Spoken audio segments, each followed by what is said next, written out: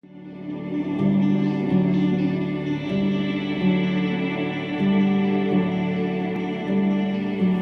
choices that we make,